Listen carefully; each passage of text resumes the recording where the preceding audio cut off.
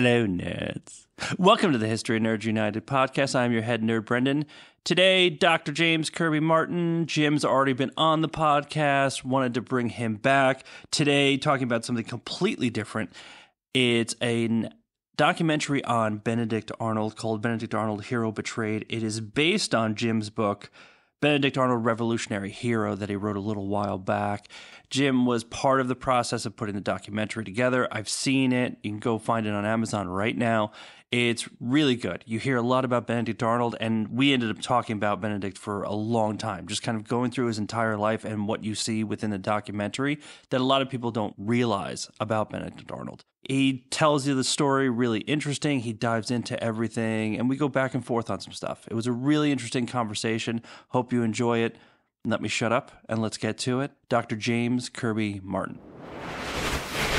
All right, welcome to the podcast, James Kirby Martin. Excuse me, Dr. James Kirby Martin. Don't want to leave that part off. Thanks for being here. Thank you for having me. It's it's a real pleasure to be here with you today, and um, I'm looking forward to our conversation. I think we're going to have a pretty uh, interesting chit chat here. I mean, absolutely. I think you have a very interesting point of view on Benedict Arnold, the archetype of traitor uh, to any American citizen um, either then or now. So you wrote a book, uh, Revolutionary Hero, an American Warrior Reconsidered in 1997. And then a documentary, Benedict Arnold Hero Betrayed, just came out in 2021. That's a lot of time in between. We're, we're used to, oh, this book's a bestseller, there's going to be a movie tomorrow. That, that's a long road. How'd that come about? I'll go all the way back to 2001, as a matter of fact. And we discussed the possibility of doing some sort of a documentary. And I said, go for it if you want to. I'll be glad to uh, support your activity. I'll be glad to participate and see what we come up with. The idea of doing a program on Benedict Arnold, America's most notorious traitor, it's not surprising it wasn't an easy sell. You need money to make a film. And if you go out and you say to someone, would you like to invest, oh, $50, $100,000 in a film about Benedict Arnold? They say, well, if you talk to me about George Washington or another one of the really important revolutionary leaders, well, that would be one thing, but I don't want my name associated with Benedict Arnold. So, one of the challenges of this project over the years was a very simple and basic one, and that was coming up with enough money to keep it going slowly but surely, and slowly is the right word, but surely the film did come together. And from my point of view, has come out and turned out to be a very worthwhile project uh, that I think people are going to find surprising. And I also think they're going to find it entertaining. I think they're going to learn a lot about the American Revolution that maybe they didn't know. They'll learn a lot about one of the principal characters of the American Revolution. After all, 20, 30 years ago, when I first started showing interest in Arnold, perhaps doing a book on him, um, it's fair to say that Arnold's name was more or less universal, well known. Let me give you this example. When I was a kid growing up back in grade school, the first time I had any contact with American history was in fourth grade. And I was taught that there was the hero of the revolution, and I think very well of him, I think he's an incredible person. That is George Washington. George Washington was was treated well. In my case, was told he was really a person of great virtue, uh, was willing to sacrifice for the greater whole of the good community, uh, willing to give his all to win this very important revolution against British tyranny. But then I was also taught right next to that there was this bad guy. In other words, there's this pole and there's the opposite pole. And the bad guy was this guy, Benedict Arnold. And he, of all things, turned against the cause and didn't see how virtuous this cause was. And so that's what I was taught, not questioning it. And I more or less accepted it. And time passed over time. And uh, ultimately, what became clear to me, let's say now we're going to jump ahead several years, was that Arnold was well worth a, study on his own, and that a lot of what had been taught about him was suspicious. For instance, whereas Washington was so virtuous, he did cut down the cherry tree. One told that I can't tell a lie. And that Arnold never could tell the truth about anything. And that he was a little hellion, causing all sorts of problems in the community that he grew up in, which was Norwich, Connecticut, in eastern Connecticut. He did all these devilish little things. In fact, you could associate them with the devil, like he liked to During thunderstorms, he'd jump up on a table and he'd yell and scream. That was all because he was being influenced by the devil. He would do things like he'd spread broken glass all over the little trails the kids would be taking to school. And I always wondered when I started to think about it, didn't the kids ever wear shoes? Were they getting their feet cut up because of that? He loved to climb up into trees and he loved to squeeze the life out of baby birds. That's another story that's been told about him. You can read this in various biographies. And I could go on and on and on about what I call the Arnold tales. When in truth, what I learned when I got into this subject, these stories are fundamentally fables. They've been made up. And that what I found when I started doing research was that Arnold rarely commented on his youth, but when he did, he told one leading revolutionary, Benjamin Rush of Pennsylvania, who was a signer of the Declaration of Independence, he said, I was a young lad and then the point came in my life when I just had to grow up. And I would describe my life before I decided I had to grow up that I was basically a coward. That he wasn't this little hellion running all over the place. He wasn't this disaster in, in the making. He sort of warmed up, if I could put it that way, uh, with these childhood antics. And then his great cause became to destroy the American Revolution. But fortunately, he was found out, he was discovered, he was cast aside. Well, what's interesting about that is why all the fuss? What did this guy do that made him into the anti hero of the revolution? Well, we know that in September of 1780, he was the commander uh, and that he tried to sell out West Point, or at least that's how the story goes. And he was basically caught in the act, although they didn't catch him. He got away. He got to the British in New York City, which was their main base of operations, and he got away. But the near attempt to try to despoil the revolution, spoil everything, by losing West Point, that indeed, in the end, was what he was trying to do. And that is wipe out this above virtuous cause that we know as the American Revolution if you rewind back too, there's so much that happens, especially the documentary and especially your book go into it. When you're going back to the childhood that he kind of glosses over himself, right? He grows up in Connecticut. The Arnold family at that point is a pretty well known name. They're not necessarily rich like Washington rich or anything like that, but he, I believe, had a governor in his family tree of Connecticut, correct? Uh, of Rhode Island, as a matter of fact. The family settled in Rhode Island and the first Benedict in North America, Benedict I, we can call him, replaced Roger Williams, a famous colonial figure, uh, as the governor of uh, Rhode Island. And the family was so prominent in Rhode Island that if you go to today to Newport, you can actually visit the, the family graveyard. That's a story in itself, but I don't want to. I don't want to get diverted on it. But it's still there today. So the family then, generation passes, generation passes, and one of the issues is, is the generations passes, they keep dividing up their land and they get into farming units that are so small they really can't, are not viable economically. So Arnold's father, that I call Benedict IV, he actually becomes a barrel maker and he will then migrate to Connecticut. And good fortune will allow him to marry into a family in the Norwich, Connecticut community. And he will then set himself up as a trading merchant. Now, that's around the time that uh, our Benedict V is born, 1741. And the family is prospering during the 1740s. But there are certain things that go on, and there are many stories to tell, but I'll just I'll just do one. And that is the Arnolds are prospering. They have a very nice home. Business is good. Arnold is sent off to a school. Sort of the idea is to get him well educated uh, so that he would get on track to maybe attend Yale College, become a lawyer, a, a person of great standing in the community, because so few people went to college at the time. But then the family tragedy that occurred in the late uh, 1740s and into the early 1750s, well, like Today we have what COVID. We have the COVID pandemic all over the place. Well, they'd have different kinds of pandemics at the time, and one of them was a diphtheria pandemic that struck New England. And if you get diphtheria, it's hard to survive because ultimately your throat's going to get closed off on you. You can't breathe and you will slowly suffocate. Well, at this time, there were, besides Benedict, four other children. And three of those four children will die. And this is shattering to this family. It's shattering to the father. In fact, there's one description that he almost died too. And it's like at that point that that family comes apart. No more is it a family with five children. They're down to two Arnold, his younger sister Hannah, mom and dad. I believe this is when dad started to have his problem. And his problem was his, his family had been destroyed. Everything he loved in that family had been destroyed. Well, he took to drink. And as he developed an alcohol problem, his business success started to go away. He couldn't really manage well. And everything begins to go downhill for the family, literally to the point that there's almost nothing there by the time that the father will pass away much later, around uh, 1760. Mom also passes away. And it's during this period, Arnold's pulled back from the schools, he's pulled back from the fast track. And through his mother, a woman named Hannah, uh, she has cousins, we'll call them the Lathrop brothers. And they are in the apothecary and merchant business, uh, selling various kinds of goods.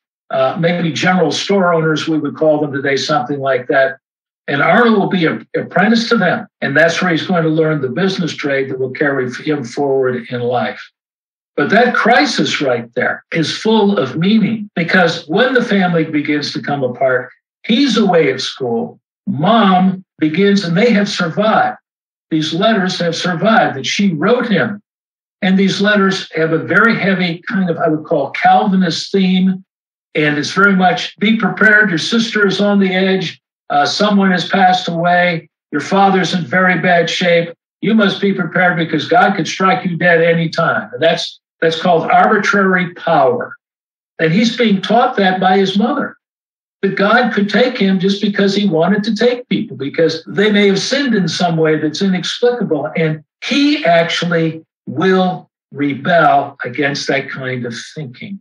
Well, and also right around this time is is the Great Awakening. Right. it's probably the worst time for everything that you're talking about, right? Because Arnold's father, when he's drunk, he's not drinking at home, but he's drinking out publicly. He's, you know, for lack of a better term, making an ass of himself out in public. That's right. Can you tell me? I know there's thousands of books on it, but real quickly, what's the Great Awakening for somebody who doesn't know what it is? The Great Awakening is a time of religious revival, and it, it strikes in Virginia, it strikes very heavily in New England and other various colonies. And really, this is an attempt to get back to basic scripture. And there are these traveling itinerant kind of ministers, and they'll come into communities and they'll preach a vital faith that you must get your life centered on God, not on yourself. That is centered on God through your Savior, Jesus Christ. That's really the fundamental teaching that's there. And some of that teaching is quite extreme because the kind that struck in Norwich, where the Arnold family is, really has that harsh Calvinist side where God is an arbitrary power, that God can just strike you dead because you haven't been good or someone hasn't. I've got to punish you people to keep you on the track sinners in the hands of an angry God. You can think of that, that kind of terminology. And Arnold's parents are very much into that. And then they're passing it to the son. And he's saying, wait a minute, my father almost died. He's turned into an alcoholic. I've lost my sisters. I've lost a brother, two sisters, a brother, and I could lose my mother. I could lose everybody.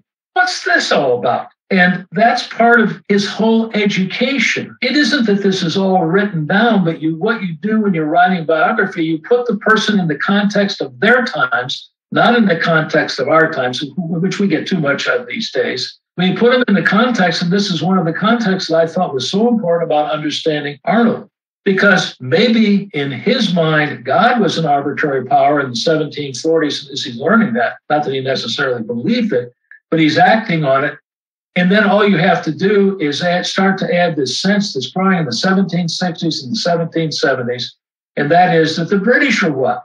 That they're tyrannical, that they're passing all these li- uh, acts, tax acts, stamp act, the Townshend Duties Act, ultimately the Tea Act. Over and over again, they're striking us. They're ruining our economy. They're making it difficult for Arnold to do business. And the British start to become to him and to many other people what? An arbitrary power.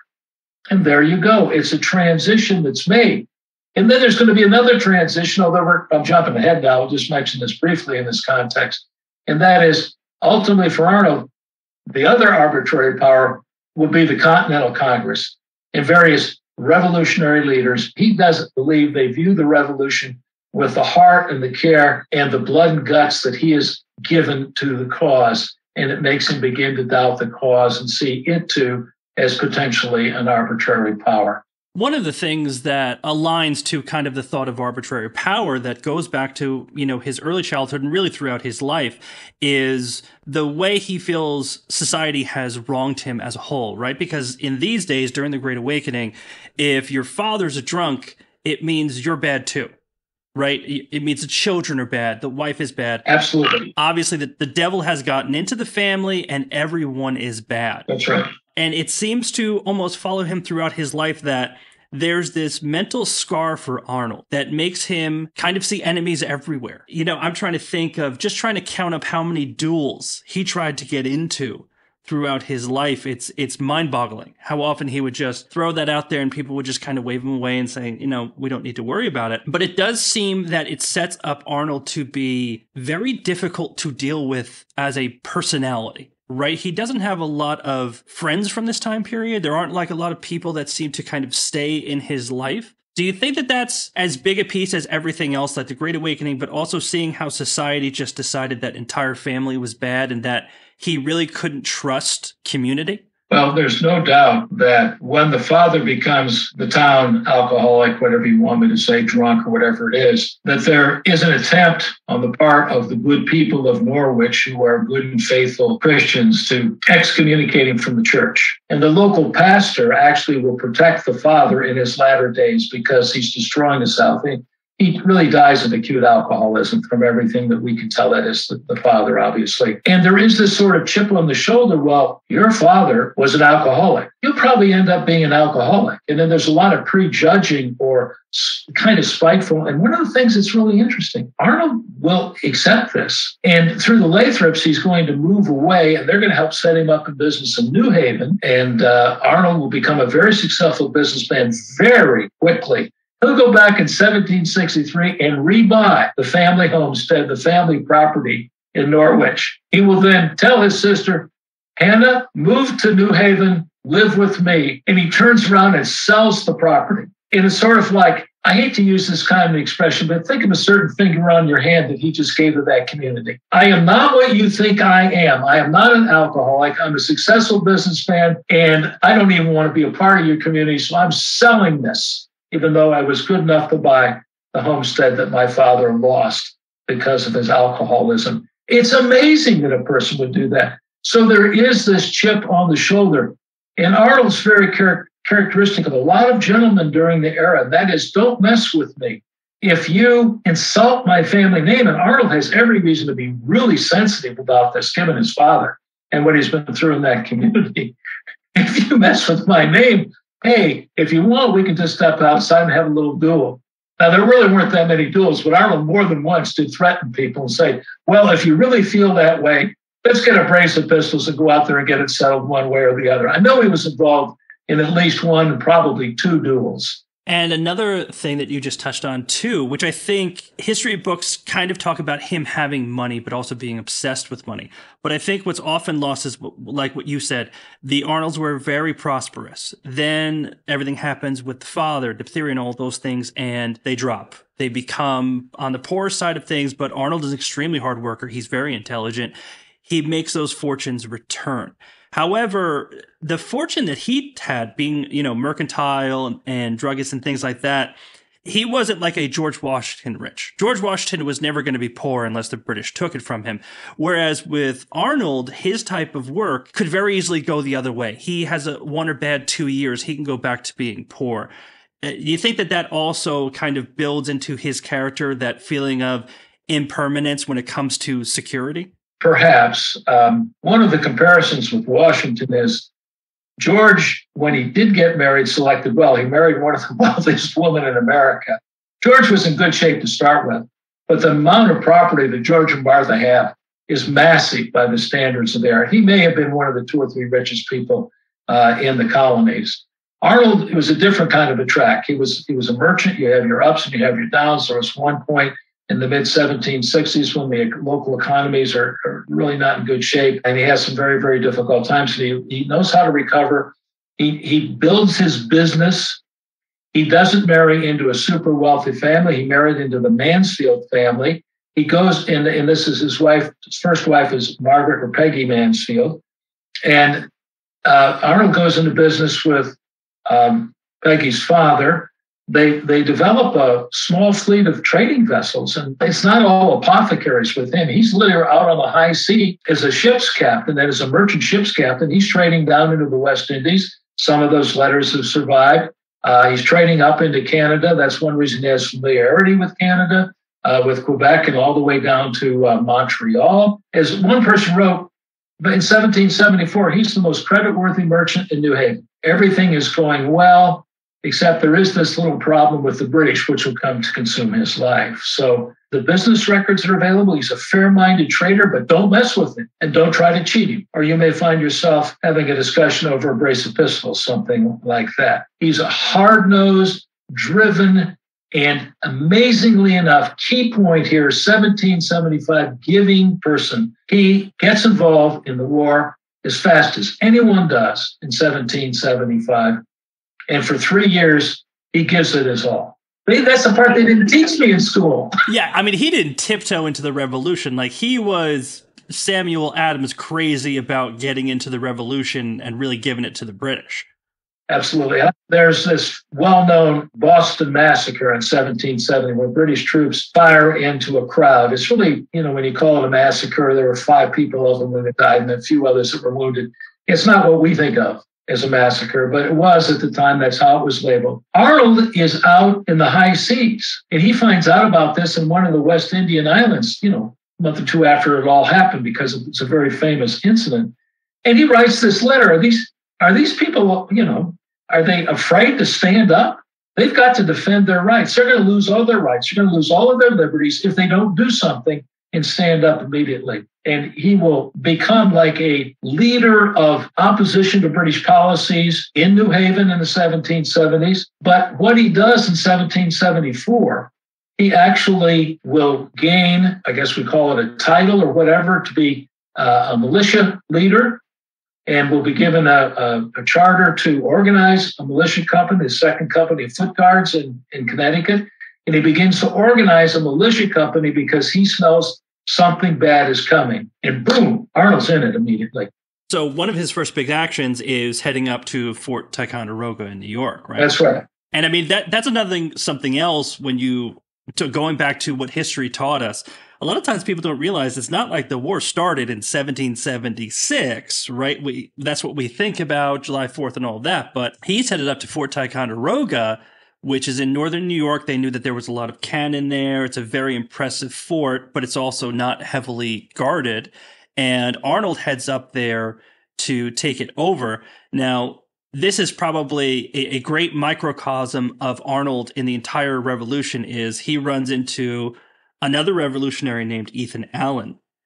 And things kind of go badly give me give me a little bit about what happens when he meets Ethan Allen and what he knows as the Green Mountain Boys. Okay, very quickly, Arnold will march his second company of foot guards uh, from New Haven to the Boston area where the British. Uh, this is after Lexington and Concord within a very few days. Uh, in late April of 1775, the British are sort of trapped. All these New Englanders pour out and surround Boston, and Arnold would join that group. And he knows some of the leaders in Massachusetts from his business dealings and that sort of thing. And that uh, he will say, Are you all aware of we got all this cannon and weaponry up in this fort, Ticonderoga, that is out west? Go to the Hudson River, go north, go to the bottom of Lake Champlain. And there sits this fort, and there's all this weaponry you're going to need if you're going to really stand up to the British. After all, you have them trapped in Boston. It would help if you have weapons. If you're going to have a real army, you have to have artillery to really stand up to British power, which is militarily significant at the time. Arnold will go west, and boom, he runs into this guy, Ethan Allen, and the Green Mountain Boys. Now, just to be clear, Ethan Allen is not just a furniture store. This is a real American revolutionary. That's right. I call him the furniture dealer, but I don't know how Ethan Allen furniture emerged from Ethan Allen the person. But Ethan Allen the person was a big, tall, guy, sort of threatening in appearance. And he has his friends, the Green Mountain Boys from the New Hampshire area, the Vermont territory. They've gotten word we should go get all these cannons and everything. And so they meet literally on May 9th, 1775.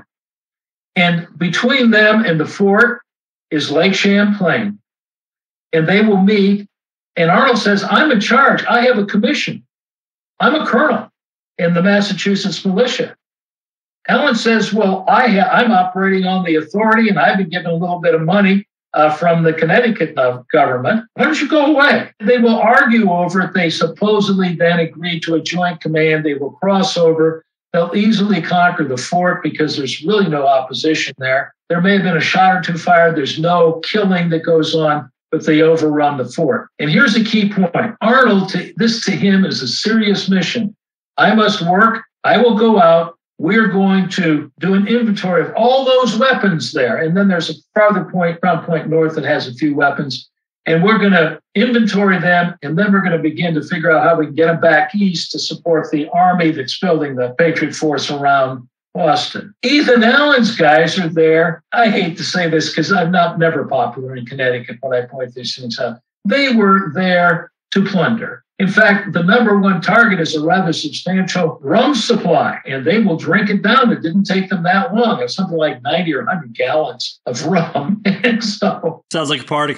Arnold's trying to make sense of this, and they're getting drunk, okay? And so ultimately, when there's so little plunder to take and the rum is all gone, the, the boys will sort of pull back into Vermont, leaving the assignment to Arnold, who will try to make something of it. This is really the beginning of a huge story of the Northern Campaign, which is right at the heart of Arnold's story story and contributions to the revolution. But you're not going to get a lot of sympathy. Ethan Allen, I know he's really not our focus, but let me tell you quickly. He later uh, in the fall, with a few guys, he'll try to take Montreal. They failed, they're captured. He's sent to England in chains. He'll come back, and they don't know what to do with him. Whatever he does is sort of screwed up. And so in the end, he writes uh, a classic memoir, Allen's uh, narrative of the events, which is a lot of it's basically made up. And he sort of drifts off into history, but his name sticks. I, I tell you, this is where you and I always diverge on Ethan Allen because he, he's very often depicted as just this kind of drunken idiot, which we won't even get into that one. That's its own podcast. But what I will say is he plays Arnold perfectly from the politics game in this entire episode. He's the one that basically says, okay, we'll just do a joint command, knowing full well that he'll just screw Arnold on the back end because by most things that you read, Arnold shows up. He's kind of a bit pompous. He's that, you know, hoity toity type of guy. And you've got Ethan Allen and his mountain men coming out of there. And that's what they were. And that's what they were okay with. And, you know, Ethan Allen's this backwoods guy, but he plays the politics game. He makes it seem like he was the only one who took Ticonderoga. He barely mentions Arnold, if at all. And that sticks significantly. A lot of times when you hear about Ticonderoga, you hear about Ethan Allen, and Arnold is almost never mentioned. I mean, this backwoods guy played Arnold perfectly in the politics game, and that's something that keeps coming up, isn't it? Yes, very much so. And that's one of the things I go into in the book. Because while I'm not a fan, obviously, of Ethan Allen, guy was pretty shrewd in some areas, and he had his supporters there. Remember, Arnold's there at that point, even though he's been commissioned uh, to uh, put together a regiment through for 500 guys. Uh, and there's some recruiting that's going on with a couple of individuals associated with Arnold. Arnold doesn't have the troops. Allen has all the troops. He has everything. Plus, he has uh, individuals who are bright and are literate, and they will compose a series of letters, one, one of which goes back to the Massachusetts Provincial Congress, one of which is carried by one of the great louts of the revolution. I always say that because I'm saying this for certain people. A man by the name of John Brown, who is some sort of a hero in the Mohawk Valley, and I still can't figure out why. But Brown will carry a letter to the Continental Congress. It's, it's wonderful. And what it does is the Continental Congress has just begun to meet, the Second Congress. It starts on May 10th, the very day of this, of this uh, uh, attack on Fort Ticonderoga. But anyway, Brown shows up and they announce that he's going to come in and report this action at Ticonderoga. And, and so he says, I'm here to just congratulate us because my good friend and stalwart great patriot, uh, Ethan Allen, and his associates, the Green Mountain Boys, and I'm involved with them. We took Fort Ticonderoga. And what is funny is, what is the reaction of the Congress? Most of the leaders in the Second Continental Congress did not want a war. They wanted reconciliation. They wanted to be a part of the British Empire. They wanted to settle their differences. And so the reaction to Brown is, You did what? Wait a minute. Brown sort of comes back, Well, you don't like this? Oh, well, listen, I really was covering for the real thug here. You know, the really bad guy in all this was this guy, Benedict Arnold. He was the one who really wanted to take the place. And he just got us stirred up. We were thinking, the Congress then votes literally to make sure that those weapons are left alone because we don't want the British to think that we're really going on the offensive in this war. So they're treated as a big mistake. and so, but what's funny about that is Arnold gets blamed in the minds of leaders in Congress. And what does that do to his reputation? Well, maybe is this kind of uncontrollable guy. Maybe we got to keep our eye on this troublemaker Benedict Arnold. And, and that's how that's how this, this amazing episode actually ends. So yes, I give Ethan Allen credit up to a certain point, but then remember, he's the one who said in his memoir, I, I took the fort uh, based on uh, Great Jehovah and the, the Continental Congress. I took it in their name. And that's not what he said at all. He apparently said, come out, you old rats, or something like that. But that's sort of glamorizing the revolution from Mellon. So, you know, you got Ticonderoga, that, that goes relatively well, depending on how you're looking at it. And then his next big action is to try and take Quebec which a lot of times that's ignored, but it seems like the United States, especially in these early days, and even through the War of 1812, really wanted Canada. Like, just really wanted Canada. And quite frankly, it was always a bad idea. Um, but Arnold takes a, you know, a massive army up to try and take Quebec and doesn't really go all that well, does it? Let me try to frame it this way a couple of different ways. First of all, most people, when they read a little bit about the Revolutionary War, presume all the, the, the important stuff happened around George Washington. That's not true because there are several theaters during this war. One of, one of the most important at the outset, not so much the central area, not much New England. Once the war, the war begins to spread and the war spreads, primarily it goes north into Canada. Why? There is a good military strategic reason for this because the British, if they want to destroy this revolution, once they get into it and realize they've got a real problem, it's not just a fighting a few people in Boston and scaring them. When you move beyond that, and they will try this, they're going to move a force from Boston up into Canada, back, then locate it in New York City. 300 miles north is Montreal. You control that water corridor, and the effect is, if you can think of this, you separate all the colonies from New England. You then isolate New England, the center of the rebellion. Once you're in control of the Hudson River on up, you move a force sweep across New England. You bring in a naval force on the other side, you squeeze New England, the revolution's over. Now, Arnold, what is so incredible about this guy with no military experience, but having a sense of geography from his mercantile activity, understands this. Now, there are a few of the guys, a few other people did too. And so Arnold will actually write to Continental Congress, we need to bring Canada, that is Quebec province, north of us, north of New York, north of New England, in as the 14th colony in rebellion. We need to block the British from moving an army, uh, which would be up the St. Lawrence River, down through that water corridor I just described, bring another army up, cut off New England. He understands, he writes it, and he said, We've got to go up there and we've got to take this. He's an advocate for this. In fact, he even said, Yes, here's a guy who's at this point a colonel. Well, he's going to lose that too. I'll lead a force up there if you want. And the Congress people are saying, Who is this guy? You know, isn't he the one that caused all the problems at Fort Ticonderoga? Uh, so they would give him the assignment. But then enter George Washington. George Washington is named commander in chief in mid July of 1775. He gets up in the uh, Cambridge outside of Boston in early July of 1775. In August, Arnold's been relieved of his command at Ticonderoga for reasons we, they're so involved we don't want to get into them. Arnold will actually go and try to settle his accounts because he was spending a lot of his money to support the force that he was involved with up in the New England area. And Arnold will meet with Washington. Washington says, This guy's great. He's got great ideas and he's full of enthusiasm. Washington will see that he's named a colonel. Arnold is in the Continental Army, and he will be then commissioned to lead a force into take Quebec. The key to controlling the province, the whole province, is to take the walled city of Quebec. And so Arnold then is going, it's an amazing story. A force up through the Maine wilderness, uh, into the kind of the wilderness of Canada below Quebec. And uh, this is the beginning of a major, major campaign. Arnold has a force of 1,200 that volunteer to go with him. They're going into uncharted territory. They think it's going to take two to three weeks to go what they think is 150 to 180 miles, what's twice as long as that. They launch about September 15th, September 20th of 1775. They don't make the breakthrough uh, to be on the other side of the St. Lawrence looking over Quebec until approximately November 10th, November 12th. 60 days as opposed to three weeks. Well, it took them twice as more than twice as long to break through. One of the groups, four or 500 of them, defected. They didn't think they could break through. They got hit with all sorts of bad weather. Some of them are going to starve to death because they run out of food. It's one of the most colossally great adventure stories in all of American history that people don't really know anything about.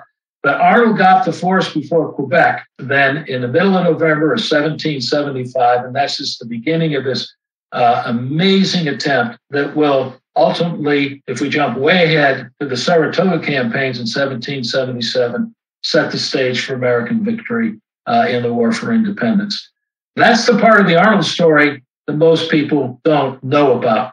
The tradition with Arnold, going all the way back to the first biographies, Jared Sparks, who was uh, a 19th century uh, literary figure, president of Harvard briefly, uh, wrote the first Arnold biography, incorporated all these stories about him. The overall point is, is that what has happened is most writers have sort of followed that pattern set by Sparks.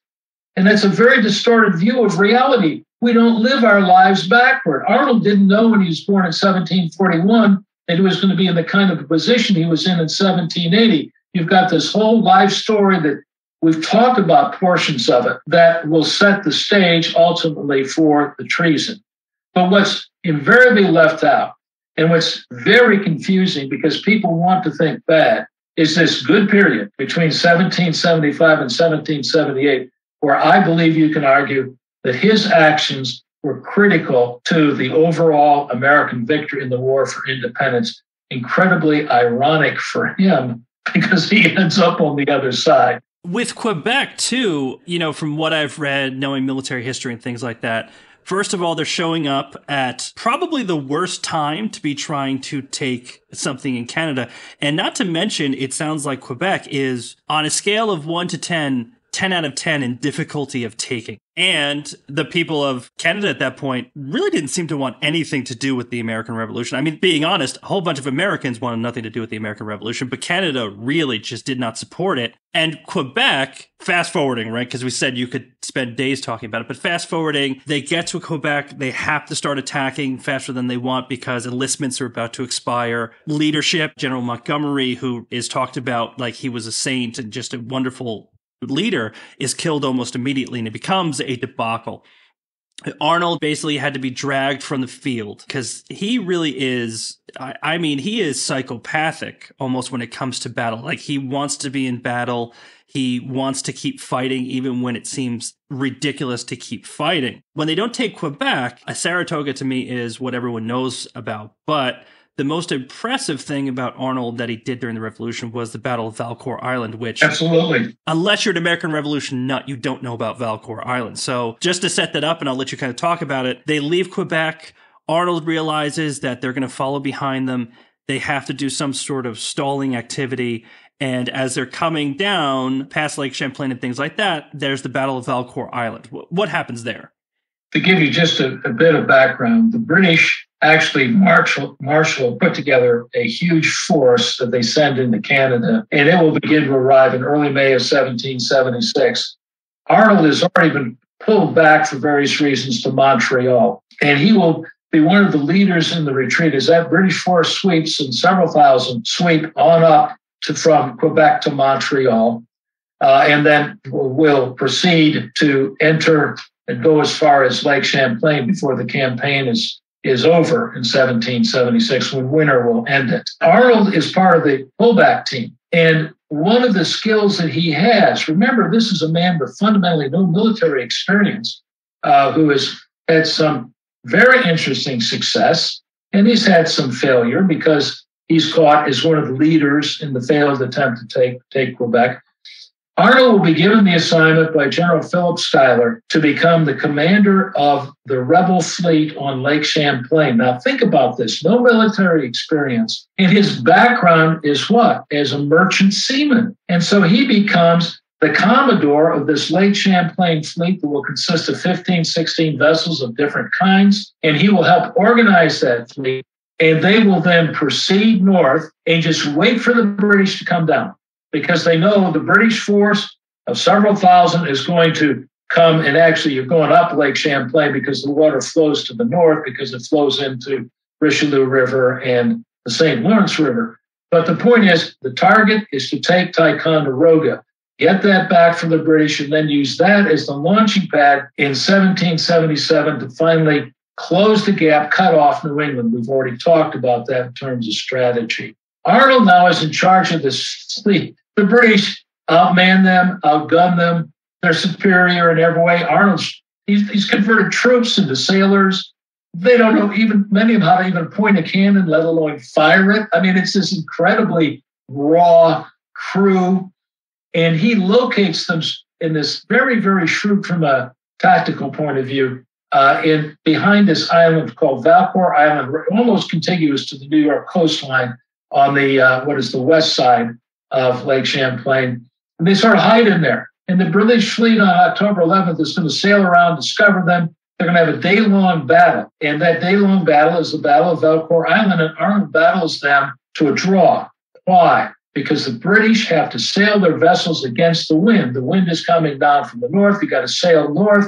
A lot of these craft do not move easily into wind. And Arnold is able to fight to a draw. But his problem is when the wind shifts, He's trapped. So he has to get out. Well, that evening, under cover of darkness and some fog, they'll line the vessels, the American vessels that have survived, most of them had up, and they'll sneak around the British line. And now there's a race up the lake all the way to Ticonderoga, but it never gets to Ticonderoga because the British, the wind will favor them in all of this. And ultimately, they'll start to run down Arnold, which is, is defending those other vessels trying to escape all the way down to Ticonderoga, the area of Split Rock on the uh, Lake Champlain. And Arnold will turn around to help the other vessels escape, and he takes on five British vessels. And I'm not sure whether I should say five, it's four or six. he takes on a lot of the British fleet. One guy, two and a half hours. The British blow his vessel to smithereens, and he keeps fighting. This is a guy refused to die. And somehow, with his skills, and, and the British are amazed by this. And with his skills, he manages to get around or get out of that circle that's around him. And he goes into what today is actually called Arnold Bay on Lake Champlain and they scuttled their vessel and a couple of other that were following Arnold at that time, and they escaped. That action, I would say, the Split Rock action, is probably the most dramatic two hours of fighting in the whole Revolutionary War. And who's in the middle of it? Arnold. As you said, this is a man who has no fear in combat. Now, whether that's because he's a psycho or whether it's because he's, you know, an Audie Murphy, you know, in the sense that for like most people go into combat, they're scared to death. And many don't want to be there and will flee if they are there. But Arnold takes it on. It's like he's taken on that arbitrary power again, which I'll go back to that as one of the dominant themes. Just as ultimately he's going to get around to trying to take on the arbitrary power in his mind, which is the American cause itself. That's why we use in the in the documentary Benedict Arnold, hero betrayed. We don't put a question mark there. We ask the viewer to take the evidence, just as maybe I did years and years ago and said, well, let's go back into the archives and find what the real story is, not what people have repeated, as many, unfortunately, our biographers maybe have done. Let's get in there and let's really see what it's all about. And then you decide. And that's the question. Did he betray the revolution? Or did the revolution before he betrayed it, did the revolution betray him? And that's the kind of theme that we try to work out. We're not, we don't try to provide the answer, but we sure try to provide the question and get people to think about the material. And uh, from my point of view, that's why one of the things I was concluding in my book so long ago, 20 years ago, uh, and that's why this film is oriented toward that direction. And then you've got Martin Sheen as a narrator and all sorts of other good features and uh, some very interesting development from a filming point of view, trying to go to the real sites as much as uh, we could, and so on and so forth to make it a truly realistic experience. So, I mean, to put Valcour Island in context, I'd like to use two baseball analogies.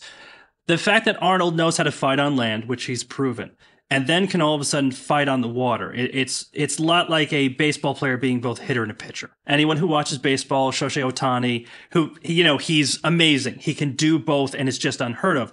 Then on top of that, the second baseball analogy is Arnold was basically taking a little league team to play the Yankees and it ended in a tie. That's how ridiculous Valcour Island was. That's very good. I hadn't thought about that, but that's right. And amazingly enough, as it works out, the land side and the naval side don't want to have anything to do with him because if you go to the chapel at West Point today and you go in there, there are all these plaques all over the place to the Revolutionary generals. But there's one plaque that doesn't have a name on it and it doesn't have a rank on it, and that's the Benedict Arnold plaque. So they don't want him at West Point. It's been years since I've been to the Naval Academy, but I don't recall a lot of credit to Arnold for winning, or actually didn't win, but at least delaying the British in 1776 as the Commodore of Lake Champlain. I'm going to go this entire podcast without talking smack about the Navy, so we'll, we'll just skip that part. We're both bad. We're both we both to be bad about that, right? right. But Valcour Island too, that was a draw tactically, but from the strategic perspective, the British are blocked. They spent so much time dealing with Arnold and took enough hits that they've got to turn around and go back. They can't continue down the Hudson like they were expecting, which was a pretty big deal at the time. Absolutely. They were blocked. They pulled back into Canada. Winter was coming on. These forces really can't fight and deal with supply lines whatever else in the winter. They have to deal with all these logistical issues that can affect the flow, ebb and flow of combat. So it, this becomes the great delay of 1776, blocking the British. Even though you didn't win, you won. Kind of an ironic statement you did because you, you delayed them. When they finally come back in 1777, well, that's the happy ending for the Americans because John Burgoyne's army will be captured, will be defeated. Arnold's central to that uh, defeat. Uh, although he's seriously wounded for a second time, he'd already been wounded at Quebec uh, last day of 1775. This is a part of the story, but then just put a little bow on it here from this point of view, you think of Valcour in 76 with uh, Split Rock. 1777, you think of the Saratoga campaign. And then you think of the consequences. The consequences of Saratoga, the two major ones. Number one, even though the British have been supporting them under the table, they see the Americans have a shot to win. So let's get in on the kill on the British. And they generally, the French hate the British in this time historically, at least. The second thing is the Brits have to change their strategy. And their strategy becomes to roll south and try to win back the southern colonies. And if everything would go well, to sweep north. And that's going to prove a failure sort of symbolized by the loss of the uh, British Army at Yorktown in 1781. Well, you have Montreal, which, you know, he, he, fought like a hero there. You have Valcour Island, where he did some amazing things. So, of course, as soon as these two things are done, everyone hails him as a hero, right? Like everybody loves Benedict Arnold now, right? That is the most amazing thing. Arnold is up sailing around in Lake Champlain. He gets a letter from a friend of his in the Congress, the Continental Congress, because his aunt antis, including this guy John Brown, although he wasn't present, had written up a lot of charges against Arnold that he was a thief and he was this and that and all the sorts of stuff, uh, a bunch of made up garbage in many ways. Then Horatio Gates, we haven't talked about him. He will carry that because he started to become jealous of Arnold because he's worked with Arnold. The whole point is that the word comes down to Arnold that your best friends aren't your countrymen. I mean, that's what he's written while he's on Lake Champlain. Well, I mean, I think it's time, right? So Valcour Island, he's still not getting the credit he deserves. He's given up a lot just to get to this point. That's right. And now we're going to fast forward a little bit. There's some more events, but let's get right to Saratoga. Now, I know this is a sensitive subject for you because I am fully aware personally that Horatio Gates is one of your most loathed people, especially of the revolution, if not in history. Am I laughing?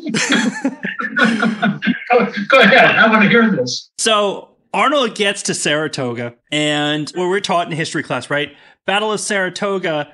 Horatio Gates wins that bad boy, takes a huge British army, and we're on our way to winning the American Revolution. But first of all, Saratoga hasn't even won battle, right? it's it's two battles near Saratoga, not necessarily even necessarily right. in Saratoga. Right. Um, and when you look back and you really dig into it, the complete hero in this story is Benedict Arnold, but Gates gets all the credit.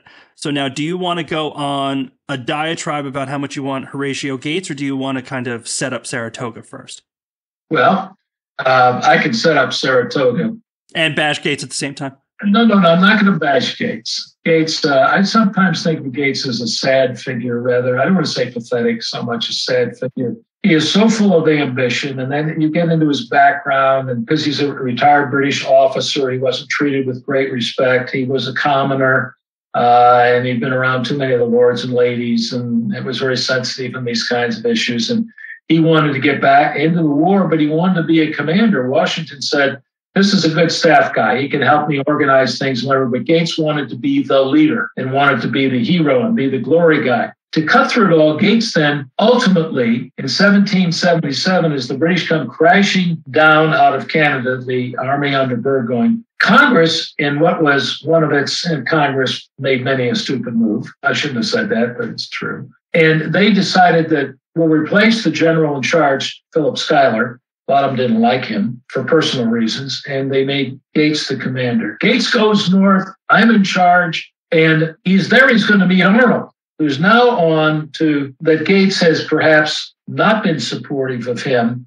Uh, that Gates has developed some jealousy toward him for various reasons. Arnold was out west helping to liber- liberate Fort Stanwix from a diversionary force under Barry St. Leger and uh, Chief Joseph Brant of the Mohawk Indians, and he had cut off that diversionary force. He comes back up the Mohawk River. He meets Gates and it's not a friendly occasion. But Gates then recognizes he has to make Arnold second in command.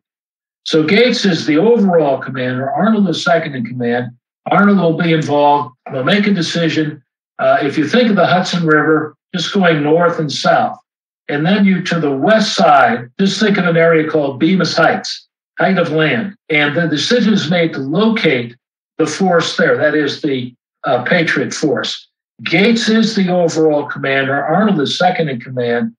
But Gates's thinking is that we'll just let the British attack us and they won't break our lines. Arnold says, well, if they come with enough force, they can break our lines and drive us right back, swing us into the Hudson River, and we'll break and run. You know, then, then the British just keep going south uh, in this process of trying to cut off New England. Well, what happens is the British begin to move. The 19th of September will be the first Battle of Saratoga, uh, sometimes called Freeman's Farm. And Gates says, "We'll just stay here." And Arnold begs and begs and begs and said, "Well, let's at least go out. Let's go challenge him a little bit and see if we can." And so that battle is going to begin and it's going to develop during the day. And Arnold finally gets permission to get out in the field. And he'll go back and say, "Send more troops. Send more troops. We've got them. We can beat these folks." But Gates hesitates. And as a net result, in this case, Burgoyne is able to bring up reserves who are Hessians primarily. Uh, the battle by the end of the day will be a draw. Arnold, Arnold has been removed from the field by Gates, and that just leads to all sorts of turmoil right there between the two of them. The point that I want to make is, and this is true of the second battle, Gates was never near the fighting. Arnold was the commander in the field. Arnold has more or less been told to stay at headquarters uh, Gates said, well, if you can leave and go away if you want to, uh, but I'm not going to give you any command. Well, the British come out again. They got to break through. They either got to break through or go back to Canada. This is October 7th. A second battle of Saratoga, second Freeman's Farm, uh, depending on what you want to call it. Arnold is sulking aside. Now I know there's a different story, but I don't believe that one, so I'm not going to tell that. And that's that's the pro Gates crowd, from my point of view. That Arnold Gates reconciled, and Gates, uh, you know, Gates let Arnold go out in the field. Arnold went out in the field by himself and rallied the troops, drive the British back into their lines, which they had established after the 7th, September 19th battle. And Arnold, amazingly enough, at one point rides between the two forces, shooting at each other to get to another key point, which was on the right side of the British line. And Arnold will charge in there, drive forces in there, and that action breaks the British line because you start to fold up the British line, moving from now its right side uh, into its left side. And the British will then begin a long retreat and ultimately a surrender. As for Arnold, he charges in. He is shot the second time, and as, as I remember, his left leg. It's all mauled up. The horse comes crashing down on him. The horse dies on top of him, and he's stuck under the horse. And others will come up, and Arnold will supposedly say in a line that I'm not sure he ever said, you know, I wish the ball had gone through my heart instead of my leg, because I don't think that was his real sentiment. But he is now very, very seriously wounded. He will be a walking cripple the rest of his life because of these wounds. And on top of that, too, just a real quick aside for that one, the soldier who shot him is about to be killed by the American troops, and he tells them to spare him. Let the guy go. He's doing his job. He's supposed to. That's in war. You're supposed to kill the other guy. That's what's going on. But that's part of gentlemanly warfare. As part of the, the, the theme. But the bottom line is that Arnold is very seriously wounded. He's hauled off then to the south, uh, 30, 40 miles south to a military hospital in the Albany area. And he will be recovering for several months, although he threatens to shoot a couple of guys if you cut off my leg, because they say we got to save your life. But gangrene sets in. Well, somehow that leg and he survives all of this. I believe this is the beginning of the end of Arnold even though he is the real hero of the fighting, the Continental Congress will mint a medal, and it's to Gates. They declare him the hero of Saratoga, even Gates was not near the battles. But he is the overall commander. Arnold will be given credit, thank you, kind of thing, and he will get his rank. There's been a big fight over that. We, we can't go into it's just too involved. But Congress will tell Washington to restore his seniority as a major general. All sorts of things are going on. Washington writes Arnold. Congress doesn't even have the guts to write Arnold and say, we screwed up and we didn't promote you way back when. There's been a big fight about that.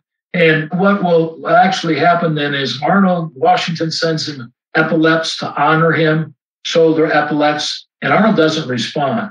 But when he finally does after a few weeks, the letter he writes to Washington is so very important, I believe, because he doesn't say, I'm ready to stand up and fight for my cause again. Rather, he wishes Washington that I wish you all success with your cause and with your country. He is literally mentally beginning to divide himself from that country because he's not calling it our cause, our country, it's your cause and your country. And then it's a whole series of things. Another huge story, becoming military governor of Philadelphia, marrying Peggy Shippen. It just goes on and on from there. But for Arnold, it's pretty much all downhill in terms of supporting the American cause. And it's becoming military governor of Philadelphia. He wants to get back in the fight. They said, Your leg's too bad. You can't back in the fight. We'll make you military governor of Philadelphia, which, looking back, is probably literally the worst job you could have handed Benedict Arnold because number one, he's an action guy. He is not a rearguard type of guy necessarily. Philadelphia is just recently taken back by the Americans, which means there's still plenty of loyalists. And then Philadelphia is just all politics at this point. It was the worst situation for him to possibly be in. And it very much seems, as you're talking about, right? He starts to kind of turn against the revolution. And he also seems to really start worrying about money at this point. Uh, it seems to come up more. Would that be accurate to say that all of a sudden the money is starting to preoccupy him? So yes, the money aspect I think overemphasized because the traditional explanation of Arnold, Philadelphia forward, he's consumed by money. He marries this Eve-like woman named Peggy Shippen. Then, of course, the devil's hanging around because the devil imagery runs through all of this kind of traditional literature about Arnold anyway. So put Peggy and money and the devil together, and you have Benedict Arnold. And that's what, as you do, as you look backward through treason. But Arnold had already given a lot of his fortune to the cause in a variety of ways, both in monetary terms and in other ways. He had given his health. He writes about how I fought and bled and I'm not appreciated. That kind of stuff is really working in his mind. And when he is then attacked by these Philadelphia leaders like Joseph Reed, who's the president, and there's a title, the president of, um, they don't really have a governor of uh, Pennsylvania and that sort of thing, and they're attacking him and his character. That's the most bothersome issue from his point of view. Arnold does still have some means. Congress owes him money. Congress is not going to pay him that money because they don't have the money to pay much of anybody anything. And Arnold will do the things that are so characteristic. He calls out Congress saying, Why aren't you supporting the widows? Arnold embarrasses Congress because he puts forward money to support this woman who was the consort or widow or common law wife, would be the way to put it, of Joseph Warren and the children because they were living in very dilapidated, poor conditions in Boston. He's trying to support a person who had actually helped him get that colonel's commission back in 1775. Warren is a very important subject in and of himself in terms of the revolution. It's the classic kind of up yours from Benedict Arnold to the Congress. And so these are the kinds of things that are really in play. If I can put it this way, it's a pattern of Arnold starting to have suspicions in 1776 when he didn't think the army was being well supported in Canada and in its retreat, which may have been a little bit unfair. But then it's growing kind of disillusionment, your best friends aren't your countrymen kind of stuff, uh, increasing disillusionment, the war wounds come into play. It's a much more complex but understandable picture, I believe.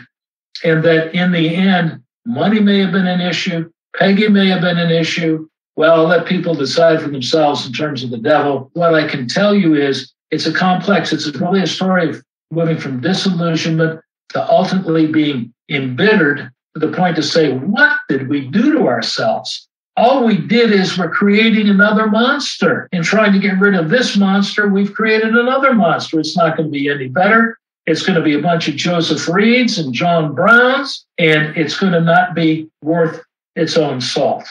Now, I don't agree with that, but that was the way he looked at it. And that's part of also what we're trying to convey and communicate uh, in terms of understanding him. And as we know, Benedict Arnold wasn't alone. There are a lot of people that had real doubts about the revolution. Uh, 25, 30% of the population, we call them loyalists, and uh, they made, you know, different kinds of decisions at various times. And there are a lot of people going back and forth, and we don't really recognize that. A lot of that, in terms of the general population, would be the British armies in my cornfield. I'm a British supporter. The American armies in my cornfield. I'm an American supporter there are, there's a lot of this population that is not committed much one way or the other. It's really the let who would be king kind of mentality. I'm going to be a subject either way. Speaking of which, Peggy Shippen his second wife, that's a very loyalist family. And there is, to this day, a lot of scholarly arguments. In your research, what is your opinion? How important is Peggy in him turning full on traitor? Was she just an avenue for him because she had the contacts, or do you think she was part of changing his mind to go full traitor?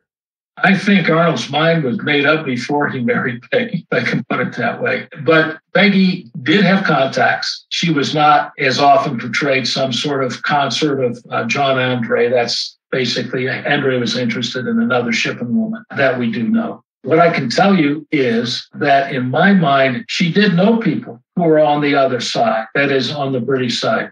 And she may have said it Arnold, but I think Arnold went to her and said, I'm so disillusioned by all this stuff, I don't know what to do. And she's a teenager. You know, she's trying to console her husband, who's here he is, mangled leg. You know, his health is, is very marginal.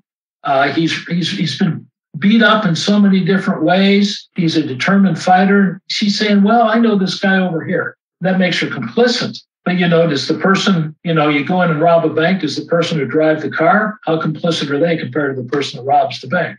That's the kind of thing you get into in this kind of a situation. And there are a couple of fairly recent Peggy biographies referring to Peggy Shippen, and they try to absolve her, but then they blame Arnold that she was, I'd say, bedazzled or something like that, uh, you know, and that she really didn't like Arnold in the end anyway. That's not true. That is just totally out of context. In the end, she wrote letters when he passed to her children because the family is now scattered to the wind. They're living in London. There's children in various locations. And she writes the family and says, I've lost this. Basically, she doesn't use the word wonderful, but this very good man in my life. Uh, and I just want you to be aware of this. Uh, and I'm going to do everything I can to settle because in the end, he is financially uh, in bad shape for a variety of reasons that go well beyond our story. So ultimately, he ends up in contact with Major John Andre, British intelligence officer, and they start talking numbers and things like that. And ultimately, the idea is to get Arnold put in charge of West Point on the Hudson River. We'd mentioned it a couple times before. Right. He's able to go up there, and basically, the plan is to just make West Point as weak as possible while being in charge of it so that the British can easily take it. Because as you mentioned early on, if you can take the Hudson, you've cut the colonies in half and the war is as good as done. And then ultimately, Andre has to physically meet with Arnold and he gets caught. And in an amazing dichotomy, which I just love because only history can do this, Andre is caught behind enemy lines. Ultimately, he's put as a spy. He's going to have to be executed. Benedict gets away. And what I find really interesting is around the same time, you have very important American patriots, founding fathers, whoever meets Andre is like, hey, George, please don't have him executed. Please, George Washington, don't execute this guy. These same people are like, Benedict Arnold needs to die. Besides winning the war, I think if you ask George Washington, what are the things that you want to accomplish at that point, it's win the war and kill Benedict Arnold from that point. Is that correct? If I could put it this way, there are many ironies about Arnold. He ends up on the wrong side, but then he is used by Washington's a very good propagandist. And he's, I mean, he's shattered. He loved Arnold. I mean, I, I don't want to overstate that. He said he's my, my best fighting general and terribly shattered that this man would turn against him, doesn't understand it. And he says, We're going to turn everything on Arnold. We're going to turn him into the devil, incarnate himself, the kind of person who would destroy all the good that we're trying to bring to this country. And so Arnold then becomes a whipping post to stir up what was very much a time of lagging support for the Revolutionary War in 1780 and into 1781. The cause, it's, it's more than stifled, it's just moribund for all practical purposes. And Washington and others use Arnold to sort of generate new enthusiasm in the cause. You too, you know, could be a Benedict Arnold if you don't get behind this cause. You too could be committing crimes. they'll have parades and they'll do all sorts of things to stir up the people and to try to get them for that one final punch so that we can finally outlast the British and win the war and get on with our creation of a new American republic. And Washington is his perfect mirror image, right? Because Washington was under a lot of the same stresses. Uh, you know, Gates is trying to take over the war and things like that. Continental Congress is depending on the day, is either fully behind him or they're ready to replace him. Everything he owns would be taken. I mean, he would be the number one. If they lose, he's ruined from day one. And you have Arnold, right, who is facing a lot of those same things, not nearly as starkly necessarily. And yet, Washington never truly goes into the type of despair that Arnold does. And also, it's very interesting to me, which is something that we've talked about before, is that if you were a George Washington acolyte, Benedict Arnold is the only one that ever turned traitor of those people. Well, of his immediate circle. Right, that's right. But one of the things that was different about Arnold was that Arnold really never was with Washington, just, just occasionally, because Washington trusted Arnold so much as a commander who was capable of independent command that I could send him out and he'd do everything he could short of life itself, maybe even give his life to succeed. And he didn't have a lot of folks like that. And so he wasn't part of uh, the Washington inner inner circle, not like the Hamilton Lafayette. If Arnold had really been more under Washington's thumb, would these things have happened? My guess is some of it wouldn't have happened because people maybe like messing with Arnold, but they would not mess with Washington. Washington was his own guy and you didn't mess with him.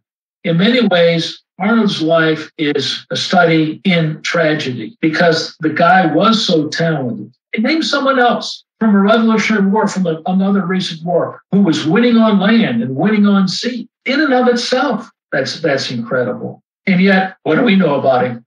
Not that he won on land, he won on sea. What do we know was he was the ultimate traitor. So if you go to the great obelisk, the great monument at the Saratoga surrender site, which is uh, about eight miles, nine miles north of the battlefields, you look there at the monument celebrating the great American victory at Saratoga. Many, including me, believe was the key turning point of the Revolutionary War. And it's four sided. On one side, you have Horatio Gates, the hero of Philadelphia. On another side, you have Daniel Morgan, who had come up with his riflemen and participated in the battle and were very critical from that point of view. By the way, worked very well with Arnold. On the third side, you have Philip Schuyler, who had been the commander, got replaced, but kept working to keep supplying the American force. And then on the fourth side, in this area where you have the other three, that is, the, are drawn, there, there, there are statues of them. In the fourth area, there's nothing.